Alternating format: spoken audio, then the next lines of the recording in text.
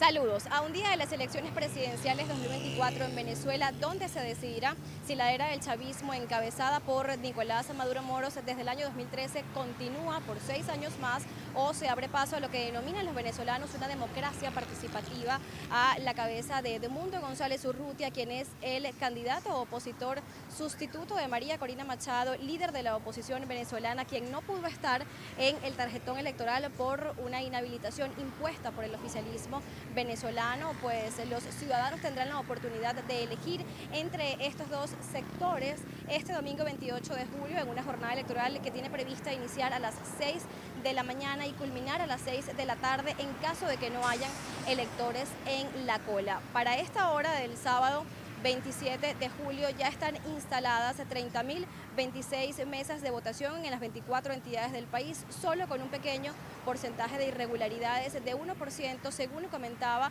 la mm, opositora Delsa Solórzano en informaciones que ofreció este viernes en las últimas horas de la noche. Esta campaña electoral fue marcada también por algunas irregularidades, sin embargo ya estamos en la víspera de estas elecciones presidenciales que como yo decía en un principio, pues decidirán los venezolanos si efectivamente continúa este gobierno de Nicolás Maduro marcado por la crisis social, económica y política o se avanza, se avanza hacia algo un poco más novedoso que promete reunificar a las familias venezolanas que están marcadas por la emigración de al menos 8 millones de ciudadanos quienes han se han ido del país desde el año 2017. Muy atentos estaremos a toda la información que se, se maneje sobre estas elecciones presidenciales en Venezuela, donde están habilitados para votar 21.402.220 ciudadanos venezolanos. Para la Alianza Informativa Latinoamericana, informó Mariana de Barros desde Caracas, Venezuela.